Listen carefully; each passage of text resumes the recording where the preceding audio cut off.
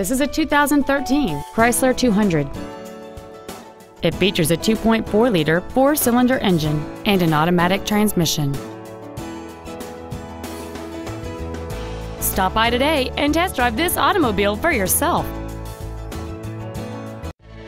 Veterans Ford is located at 3724 Veterans Memorial Boulevard in Metairie. Our goal is to exceed all of your expectations to ensure that you'll return for future visits. Come on, man, get the best from Veterans Ford.